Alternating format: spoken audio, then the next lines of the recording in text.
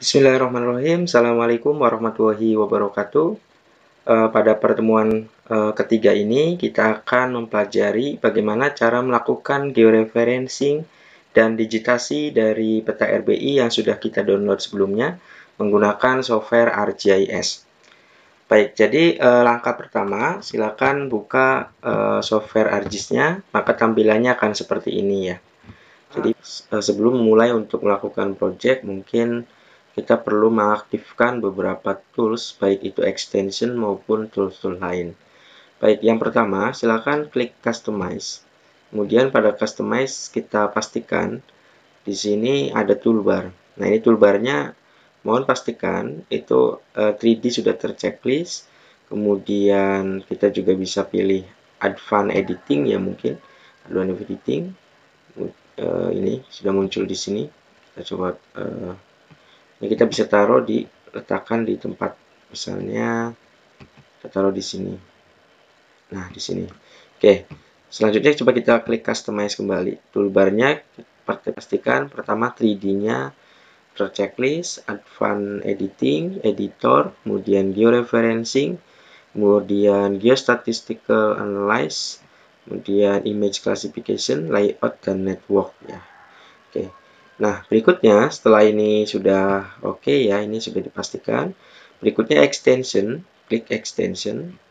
Nah, extension ini ini juga harus checklist semua. Jadi ada 3D analysis, ada ArcScan, ada geostatistical analysis, network analysis, publisher, setmatic, spatial analysis dan tracking. Ini semua di checklist ya.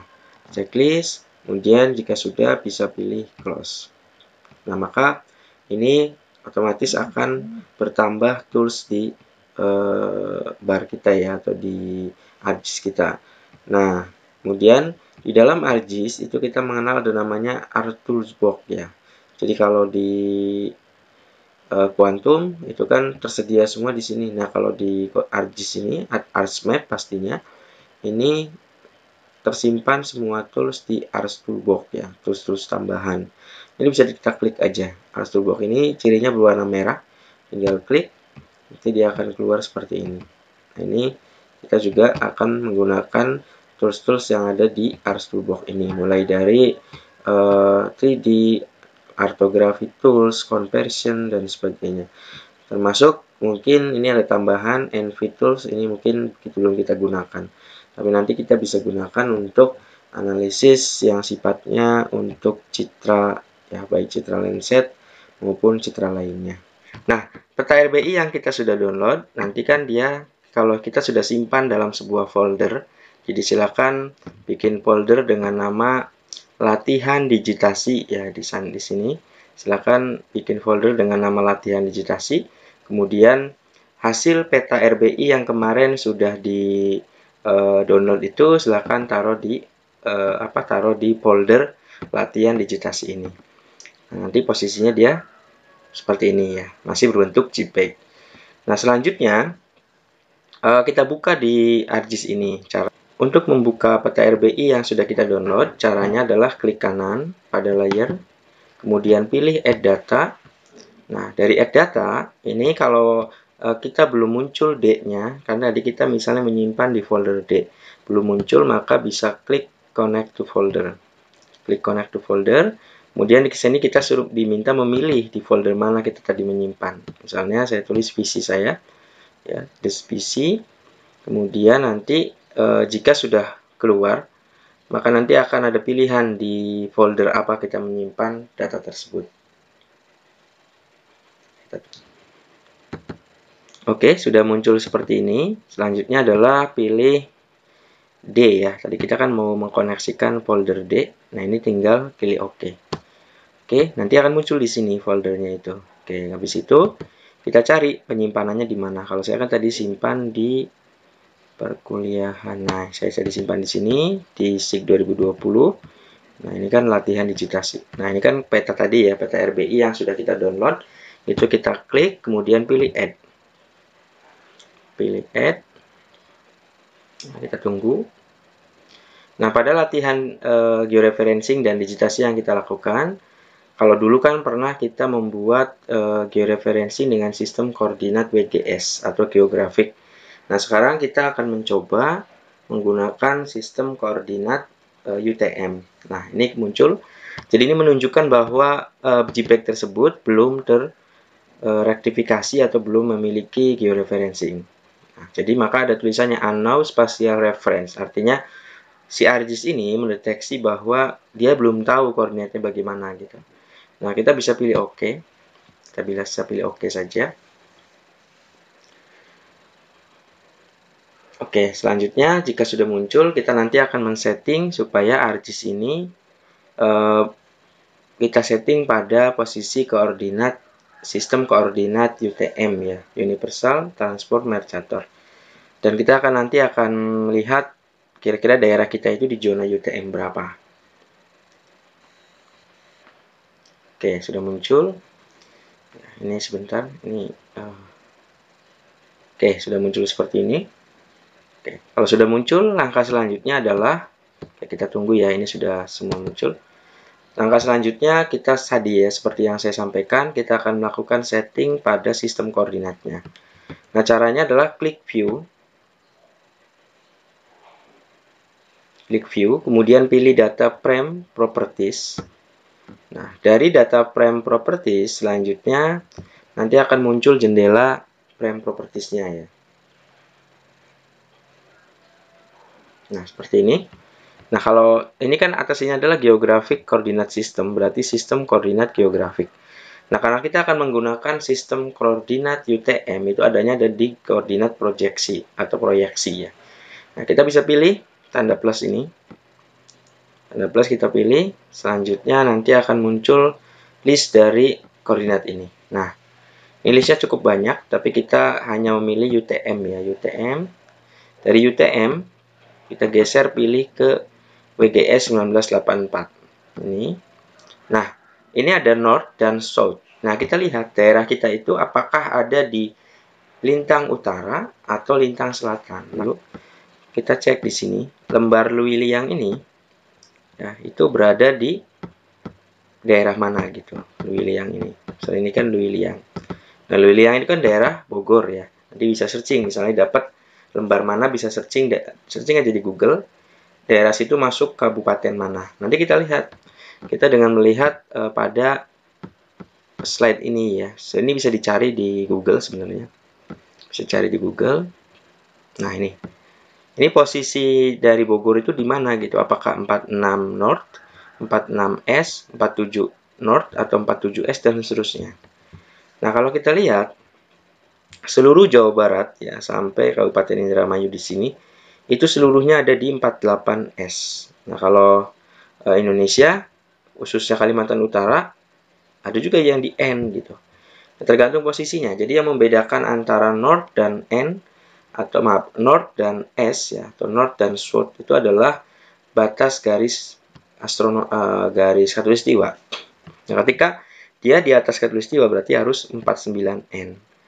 Nah, karena kita uh, di Jawa Barat dan posisinya adalah di kotak ini, maka dia masuk 48S. Nah, begitu pula nih kalau daerah sini udah masuk Jawa Tengah, ya Jawa Tengah sebagian, jadi Jawa Barat juga ada yang 49 nih. Nah, 4 Jawa Tengah sampai ke perbatasan dengan uh, Bali ya, itu masih 49 dan seterusnya.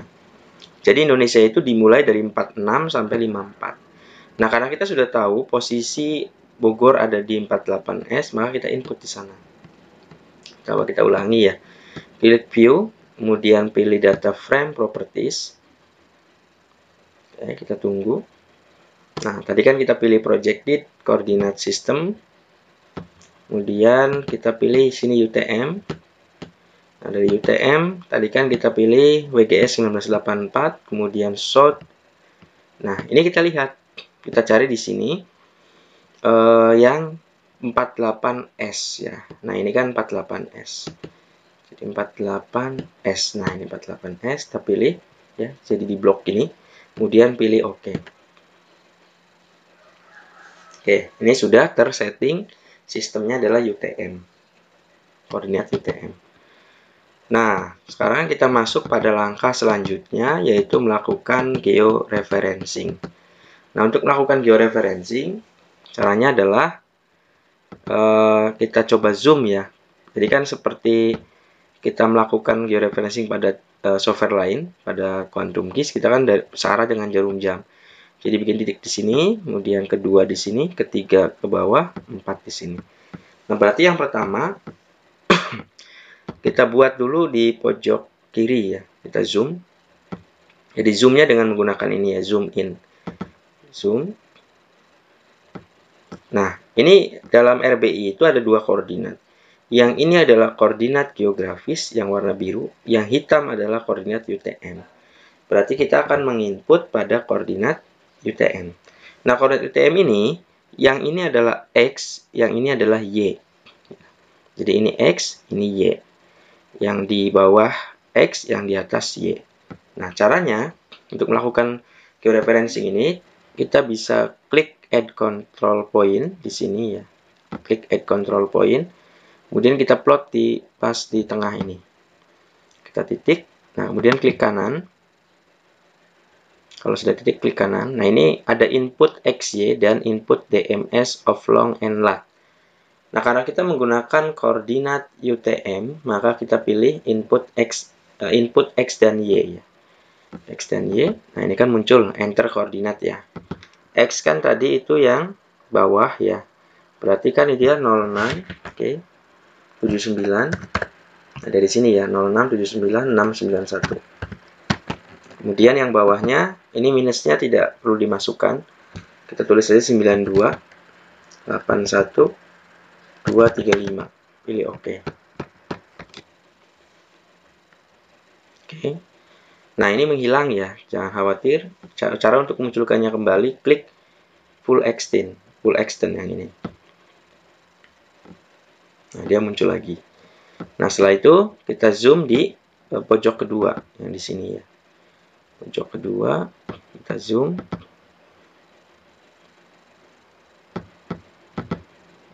Oke, ini. Kemudian lakukan hal yang sama. Ini kita coba klik lagi di sini, kemudian klik kanan input XY-nya. Nah, X itu kan X-nya adalah 06 8 eh, ini kita tulis saja 06 93 517. Nah, yang bawah itu adalah 9281 ya udah sama tuh. 9281 189 kita klik OK oke. Ini sama kita klik full extend lagi. Kemudian yang ketiga di pojok bawah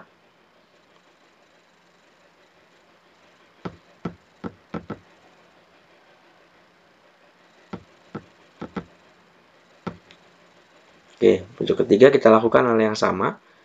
Klik di sini ya, di pojok eh, pertemuan antar koordinat latitude dan longitude. Kemudian kita klik kanan. Kita input XY-nya. Ini tadi kan 06, berarti kan kita baca di sini 0693 469 469. Nah, yang ini 9267, oke. Okay. 36. Nah. Kita tinggal sedikit lagi 365. Pilih oke. Oke. Okay kita pull extend kembali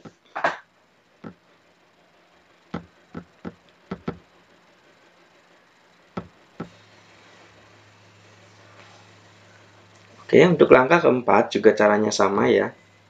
Jadi kita menuju ke posisi keempat, uh, klik lagi add control pointnya, kemudian kita plot di sini.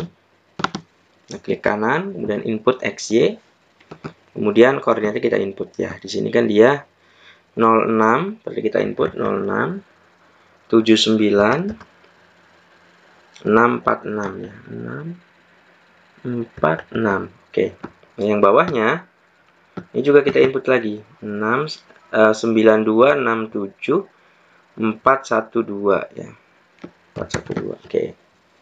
Kita tinggal klik OK. Oke, dan ini kita coba perkecil kembali. Nah, ini sudah hmm, ada empat titik ya. satu dua tiga empat Oke. Nah, pada uh, setelah kita sudah melakukan proses memberikan titik KCP tadi, maka kita cek uh, berapa tingkat errornya gitu ya. Nah, cara ngeceknya itu kita tinggal klik tabel view table ya, tabel ini. View table, klik, nanti akan muncul. Nah, ini RMS errornya berapa gitu. RMS error itu adalah tingkat errornya itu berapa. Nah, ini tingkat errornya adalah 6,5. Nah, ini harus dirubah menjadi di bawah 0, paling kecil itu adalah paling tinggi maaf maksimal RMS error adalah 0,5. Berarti kita harus ini ada kesalahan kan, ada kesalahan yang cukup besar. Maka kita akan perbaiki itu. Caranya adalah supaya ini menjadi e, eh, 0,5, maka kita perlu geser. Jadi titiknya itu kita geser. Misalnya titik 1. Kita zoom di sini. Kita zoom. Oke. Kemudian klik uh, select link. Ini ya klik select link. Kemudian kita klik di titik yang kita buat tadi. Nanti sampai berwarna kuning ya. Kemudian kita geser. Kita geser. Nah ini makin besar. Nah, makin kecil. Nah terus oke okay, tadi ya. Oke okay. oke ya ini titik satu berubah jadi empat ya sudah menurun. Nah selanjutnya kita geser lagi pada titik kedua. Titik kedua. Nah titik kedua ini kalau mau lebih detail bisa kita geser dengan zoom yang cukup besar. Sehingga kita akan gampang untuk merubah tadi. Sama caranya klik select link lagi. Kemudian ini kita geser nah itu ketiga oke terus geser dua hmm, satu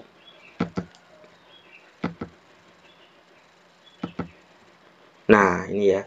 Dia sudah 0,323 dan seterusnya. Ini sudah memenuhi standar.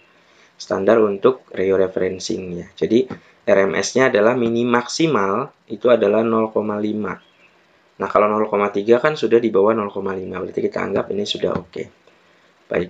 Selanjutnya, kalau sudah clear, sudah ketemu bahwa RMS-nya sudah pasti di bawah 0,5 atau maksimal 0,5 selanjutnya kita bisa close yang ini.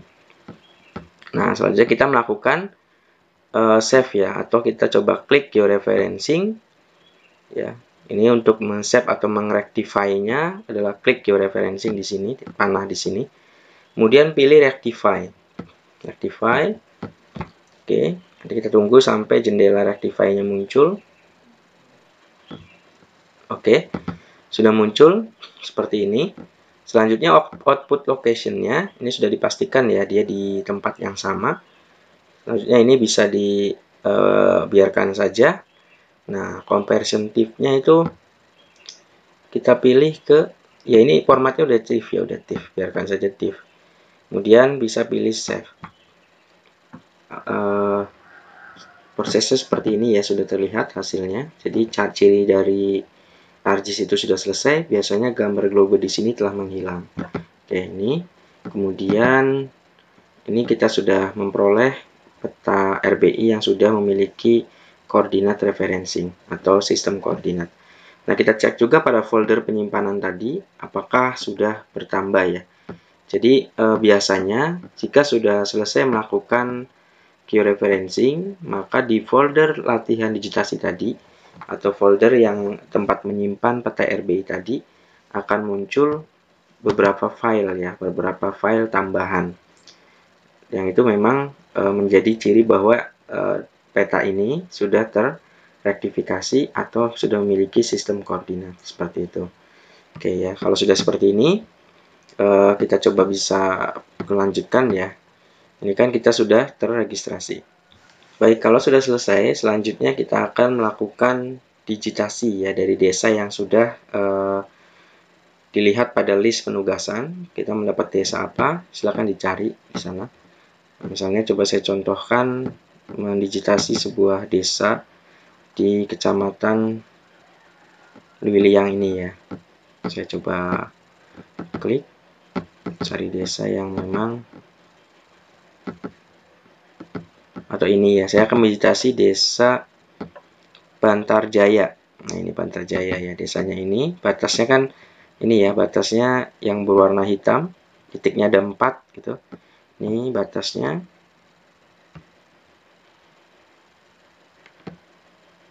Nah sampai ketemu sini lagi.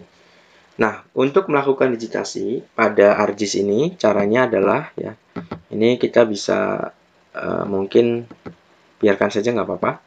Kita klik Ars Catalog dulu. Ini ya, pilih katalog. Jadi ini sebut dengan katalog itu nanti kita menyimpannya di mana. Klik katalog. Nanti dia akan muncul si jendela Ars Catalog ini.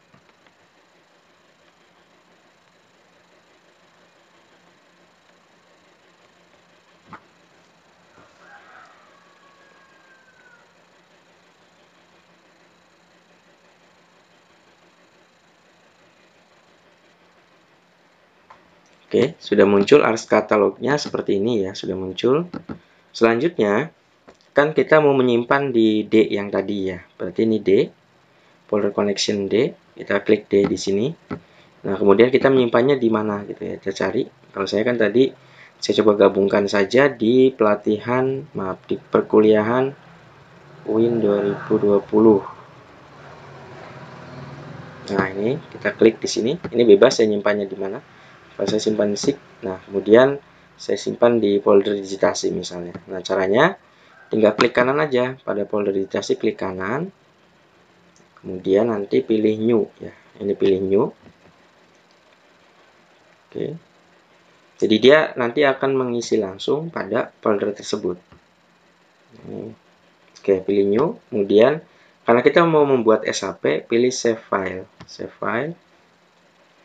Nah di sini Eh, karena kita akan mendigitasi batas desa terlebih dahulu, maka bisa kita pilih tulis dengan nama batas misalnya BTS desa ya, batas desa. Nah, picture tipenya ini kan batas itu apa? Garis ya. Berarti kita pilih line, polyline. Nah, kalau di ArcGIS ini jangan sampai lupa, ini harus dipilih koordinatnya apa yang digunakan. Nah, pilih edit untuk merubah ini ya, pilih edit. Kemudian tadi kan kita menggunakan proyeksi koordinat sistem. Oke. Nah, selanjutnya kita geser ke bawah karena kita menggunakan UTM. Dari UTM, tadi kan ini sama ya dengan kita pas setting awal itu, WGS 1984. Ini pilih South. Nah, di sini pilih 48 ya, 48S. 48S, pilih OK, kemudian pilih sini OK. Ini jadi SHP yang nanti terbentuk itu memiliki koordinat yang sama dengan koordinat dari peta RBI ini. Karena kan kita sudah men-set bahwa peta RBI-nya itu adalah menggunakan sistem koordinat UTM. Oke, ini sudah muncul ya seperti ini. Nah, untuk uh, ini sudah bentuk SHP ya, tapi belum ada datanya karena kita belum melakukan digitasi. Nah, untuk melakukan digitasi, ini blok di di desa ini ya di blok. Kemudian ini ada editor posisi editor itu bisa jadi di beberapa tempat ya. Kebetulan saya sudah geser ke sini. Klik editor kemudian pilih start editing. Oke, start editing. Ini kita uh, akan melakukan proses digitasi pada batas desa.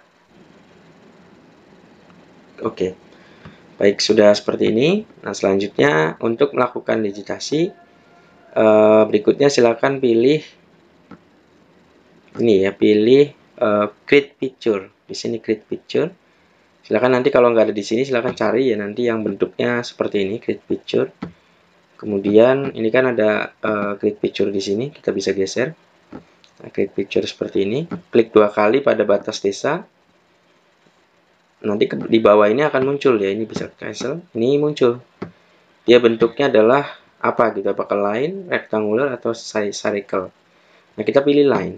Kita pilih line. Kemudian kita mulai melakukan digitasi batas desa ini kita ikuti.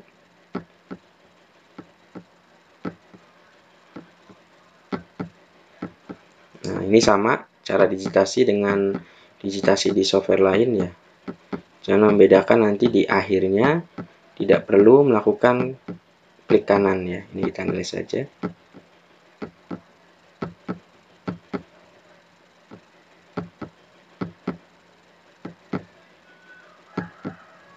ini diikuti batas dengan batas sebenarnya ya.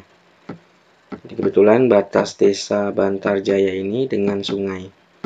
Maka posisi digitasi kita mengikuti sungai batas desanya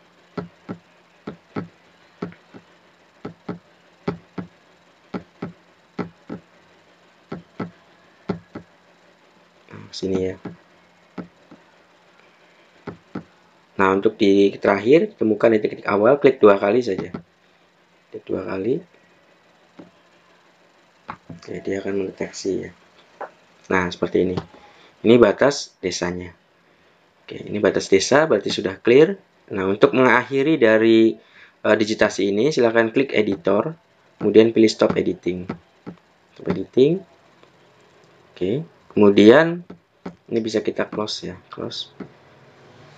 Oke, itu untuk batas desa. Selanjutnya, kita akan melakukan digitasi pada penggunaan lahan dan sekaligus bagaimana cara melakukan editingnya ya. Oke, caranya sama. Untuk kita buat lagi uh, file SAP baru dengan cara klik Ars Catalog ya, klik Ars Catalog.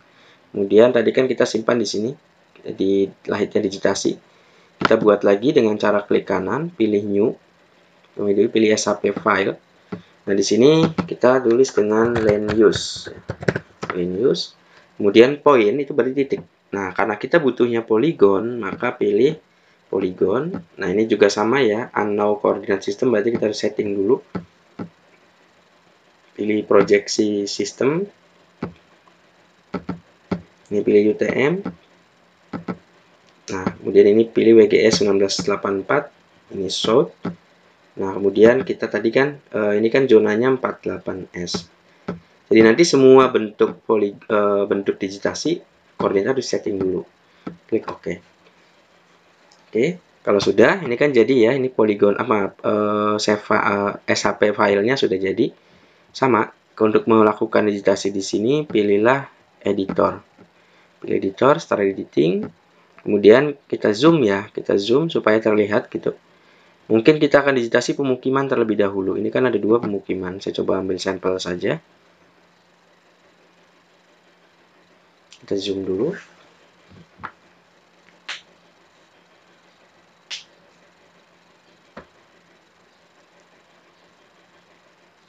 Oke, sudah posisi zoom seperti ini.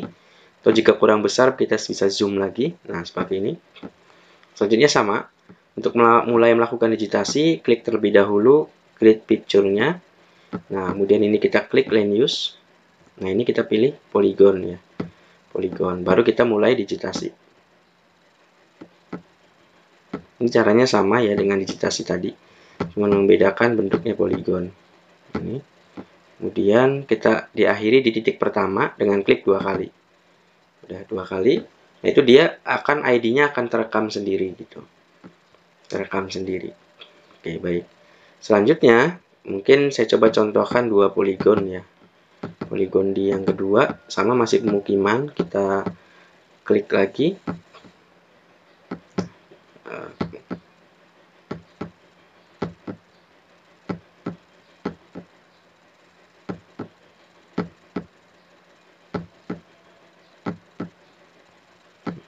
Ini sengaja coba saya bikin yang berbeda dulu dengan bentuk sebenarnya karena nanti saya akan mencontohkan bagaimana mengedit e, poligon yang sudah dibuat dan ada kesalahan. Ini kita bisa klik dua kali di sini. Nah ini kan e, sudah jadi poligon kedua ya. Kalau sudah clear semua pemukiman, kita bisa klik stop editing, stop editing, kemudian pilih yes. Nah sekarang saya akan mencontohkan bagaimana memperbaiki ini. Ini kan ceritanya harusnya kan bentuknya dia ke sini ya, tapi saya misalnya salah digitasi. Nah, itu bisa dilanjutkan saja dulu gitu. Nanti setelah selesai baru kita melakukan editing. Caranya ini kita pilih edit start editing. Oke, start editing ya, kemudian kita pilih di sini. Nah, ini kita bisa pilih edit per text ya atau edit per text ya. Kalau saya bacanya edit edit edit dari polygon ini. Klik dari uh, edit per text ini kemudian kita geser saja. Tinggal kita geser. Oh ini ke sini. Kemudian ke sini. Ini kita geser sesuai dengan batas yang sebenarnya. Nah, misalnya ini juga ada kurang dikit geser. Ini juga sama kurang geser dikit kita geser lagi. Nah bagaimana kalau ini tengah-tengah gitu ya? Kan nggak ada titik e, simpulnya gini. Kita buat titik simpul dengan cara klik kanan.